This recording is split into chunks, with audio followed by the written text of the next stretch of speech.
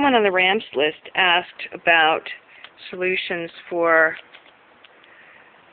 antenna placement. Always a work in progress. This is one side of the antenna array with a mini Cardellini from filmtools.com. Easy to break away, but the easier solution actually is on the other side. A similar arrangement with the dual gooseneck that folds down at the end of the day very nicely. Uh, this wind tech thing, I'm going to bring it down here.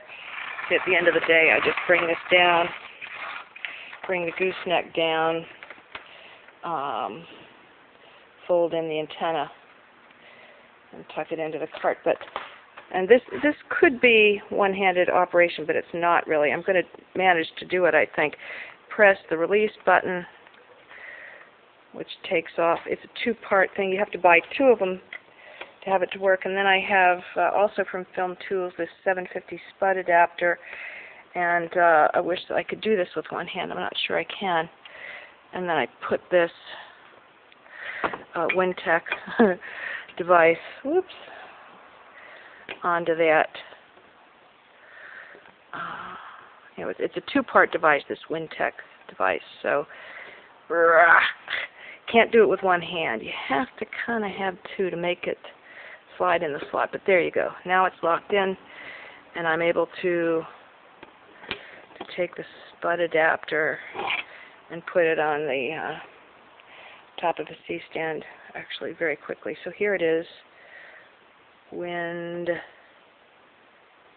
Tech. Oh, I can't pull focus and hold this at the same time. Wind Tech. Yeah, there it is. Those are my two solutions, two most recent iterations of my antenna array.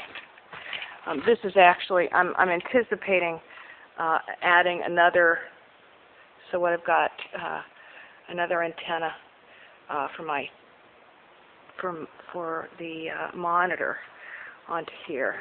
So this is wireless mics with the Wintec stud there the release knob, and then the mini Cardellini clamp to the brilliant design so it can go basically anywhere as well.